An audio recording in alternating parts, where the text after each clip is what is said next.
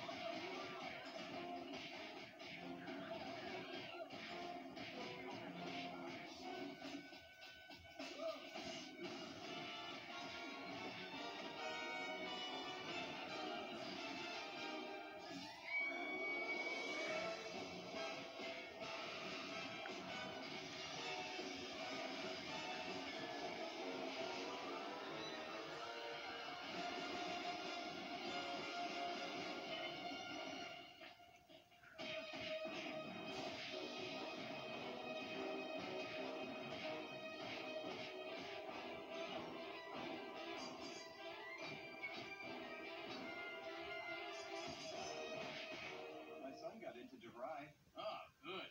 What do you have to do? Open the door? Can't you let me have anything?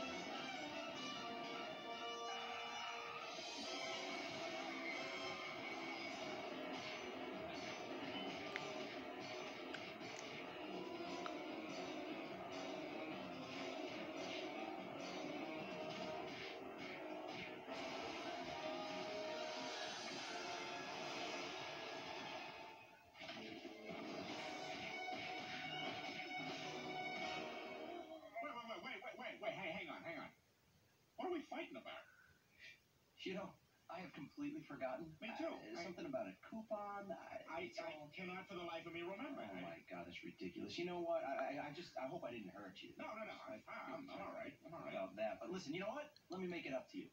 Why don't you let my wife and I take you out to dinner? Well, that sounds lovely. Was delicious. You know, I drive by this place all the time, and I, I've never been inside. Isn't that Yeah, funny? Yeah, and you know, Nicole and I came here by accident. We, we had reservations at another place, and they, right, right, honey? Yeah, they couldn't see us for like an hour, so we ended up coming here and we just loved it. Loved it. I can see why. I mean, that, that halibut was that. That may have been the best halibut I've ever had. Well, had. I'm glad we talked you out of the pork chops, huh? Yes, thank you. oh, let me, let me, let me, I'll get that. Oh no, no, no, no, no! I got it. No, no, no, your money's no good here. No, my, my food was more expensive. I feel bad. If I we invited you. I got this. Look, just let throwing a check, huh? You let go of the check. I'm not taking my hand off this thing. Well, neither am I. Let go of the check. Yeah, Ernie, if he wants to... Stay out of this. Don't you talk to my wife like that. Oh, yeah? What are you going to do about it?